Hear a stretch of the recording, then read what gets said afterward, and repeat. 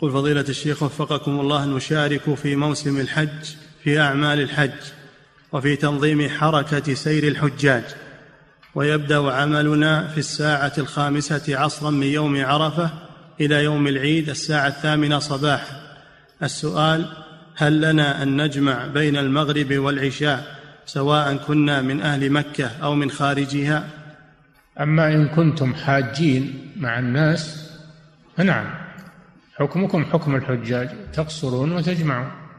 أما إن كنتم غير حاجين فلا تجمعوا ولا تقصروا ولكن تتناوبون على العمل. يمسك العمل ناس منكم ويصلي ناس ثم يذهب الذين صلوا ويمسكون العمل ويصلي أولئك. نعم.